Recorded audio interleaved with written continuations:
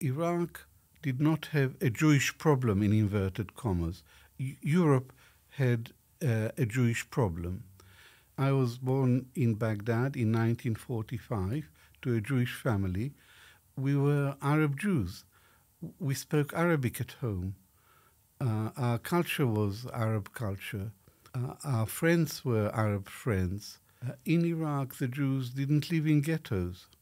They lived everywhere, and the Jews were a very positive element in the making of our modern Iraq. They contributed at every level the economic, the financial, the political, the literary, journalism. Uh, the Jews were a very positive uh, force in uh, Iraqi society. What changed was the creation of state of the state of Israel in 1948.